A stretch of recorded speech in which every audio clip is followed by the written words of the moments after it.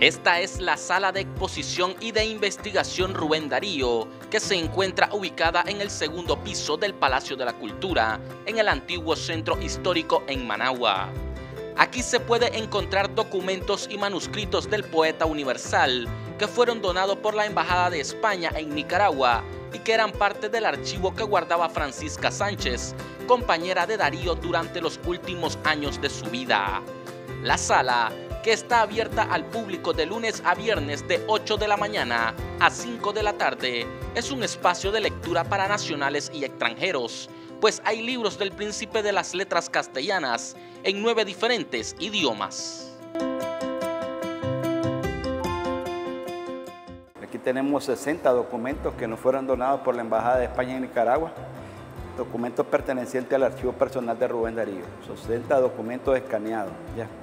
Y también aquí tenemos la colección bibliográfica más grande a nivel mundial sobre Darío.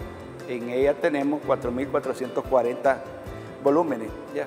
En ella encontramos libros escritos por Rubén Darío, libros escritos por otros escritores modernistas, 51 en total, entre centroamericanos, latinoamericanos, europeos. También dentro de la colección encontramos bibliografía sobre Rubén Darío,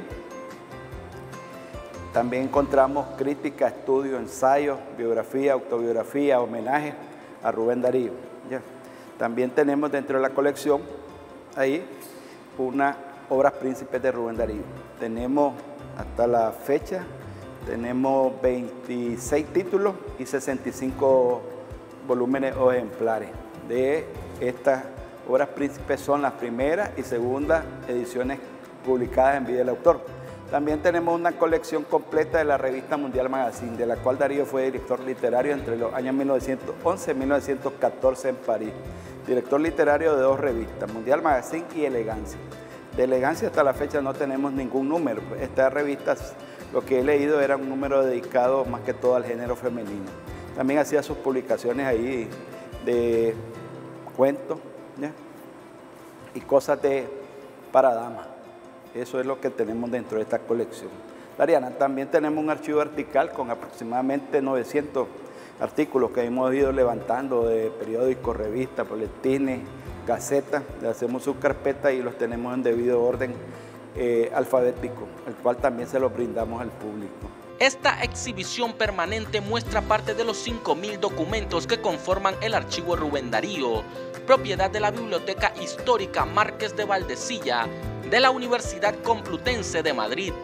La legación española realizó una reproducción digitalizada de estos, entre ellos cartas, postales, fotografías y hasta el nombramiento que hizo Colombia de Darío como cónsul de ese país en Argentina, 1893-1894. Un telegrama de 1910 que hizo el presidente Porfirio Díaz a Darío, entre otros valiosos archivos.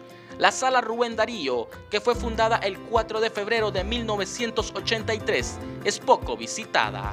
Viene público, pero no mucho. Vienen bastantes estudiantes. Ya ahorita que se inicia el año lectivo, vienen bastantes estudiantes de secundaria, de la universidad. Los estudiantes de primaria atendemos y uno, dos, tres, cuatro investigadores italianos que vienen hacia, a buscar información sobre Darío. Y nos viene a veces público del exterior, estudiantes que están haciendo tesis o maestría o o monografía en el exterior nos vienen aquí a visitar. Nos han visitado del lado de Europa, de Italia, de los estados, nos han visitado ahí buscando información estudiantes.